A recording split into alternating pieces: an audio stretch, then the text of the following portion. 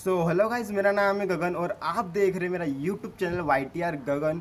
So guys जैसा कि आप सभी लोग जानते हैं कि अभी यूट्यूब पर और जितने भी सोशल मीडिया प्लेटफॉर्म है गाइज़ वहाँ पर एक चीज़ छाया हुआ है, वो ये है YouTube versus TikTok the end तो गाइज़ इसकी स्टोरी मेरे को आपको बताने की ज़रूरत नहीं है, आपको पहले से पता है इसकी स्टोरी तो इनके बीच में जो जंग छिड़ी हुई है यूट्यूब वर्सेस टिकटॉक के बीच में, इसमें गाइज़ हुआ यह है कि जो टिक जो यूट्यूब है ना, हमारा गाइज़ यूट्यूब वालों ने टिकटॉक वालों की इतनी अच्छी खासी बजा रखी है, ऐसी नौबत आ गई है कि टिकटॉक अब बैन होने वाला है।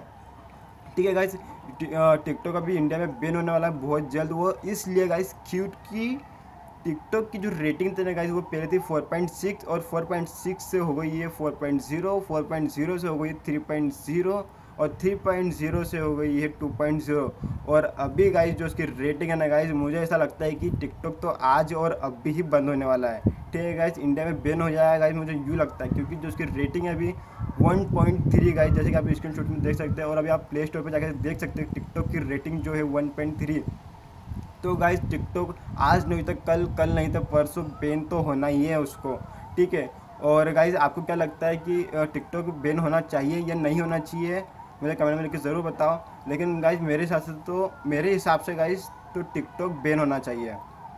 वो इसलिए गाइज़ क्योंकि टिकटॉक पे क्या होता है गाइज़ कि अलते बलते सात जी वाली वीडियोस वायरल हो जाती है। वो वो कई मतलब कि उसमें क्या होता है कि कहीं से भी कुछ भी बंदा, कहीं से भी कुछ जाएगा स्लो मोशन वीडियो बना लेगा तो उसका वीडियो वायरल हो जाता है। लेकिन यूट्यूब पर क्या होता है गाइज़ कि अगर आपकी कंटेंट अच्छा होगा कंटेंट में दम होगा इस तो आपका वीडियो वायरल होगा। यूट्यूब पर गाइज़ ऐसा होता है। लेकिन टिकटॉक पे कुछ भी गाइज़ कुछ भी होता है मतलब स्लो मोशन वीडियो कर लेगा या कुछ गा देगा मतलब आवाज़ अच्छी हो या नहीं हो, बेसुरा भी गा देगा तो उसका वीडियो वायरल हो जाता है, उसके मिलियन में फॉलोअर्स होते हैं। तो गाइज़ ये टिकटॉक को तो मतलब बैन होना चाहिए क्योंकि वहाँ पर टैलेंट टैलेंट कोई देखता नहीं है गाइज़ कुछ भी हलते हलते सात जी वाले वीडियो वायरल हो जाती है। लेकिन यूट्यूब पे तो गाइज़ आपको पता ही है कि अगर आपके कंटेंट में दम हो, आपको कंटेंट अच्छा हो तो आपका वीडियो वायरल होता ही होता है।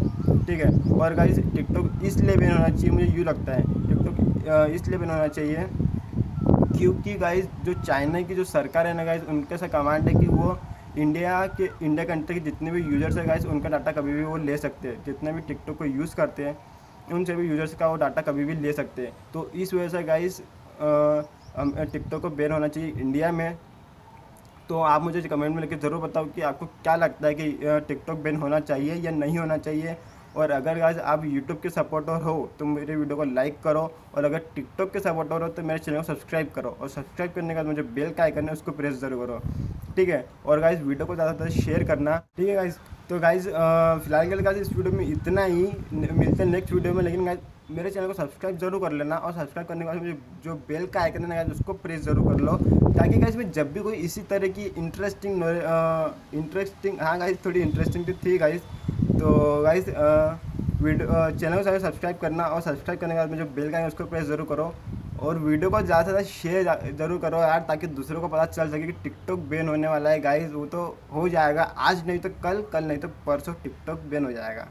तो गाइज़ आपको इस बात की खुशी है या गम है या जो भी है कमेंट में लिख मुझे ज़रूर बताओ। और आपको क्या लगता है टिकटॉक बैन होना चाहिए या नहीं होना चाहिए, ये भी मुझे कमेंट में लिख के ज़रूर बताओ। तो फ़िलहाल के गाइस फ़िलहाल के लिए इस वीडियो में इतना ही, मिलते हैं नेक्स्ट वीडियो में।